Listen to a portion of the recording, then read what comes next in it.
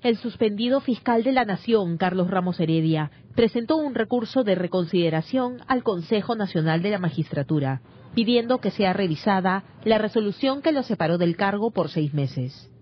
Ramos Heredia afirma que esta suspensión no se ha argumentado dentro del ordenamiento jurídico penal. No está regulado de manera tasativa el tema del procedimiento, ni tampoco que se excluya dentro de una suspensión al presidente de la Corte Suprema o al fiscal de la Nación.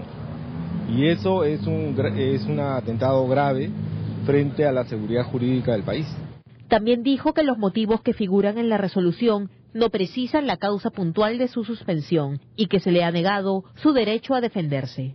Dice cuestionamientos, y esa es una palabra que la vienen repitiendo, pero que no tienen una argumentación precisa. No he hecho ninguna declaración en, mi defensa, eh, entonces eh, eso es preocupante porque una medida tan gravosa, eh, conforme ya los tribunales europeos se han pronunciado, debe estar tasativamente señalada, en forma clara.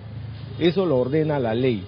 Ramos Heredia dijo que espera una rectificación, aludiendo que los hechos por los que se le cuestiona son falsos. Asimismo, aseguró que no hay un tiempo estipulado para que el Consejo de la Magistratura resuelva su impugnación.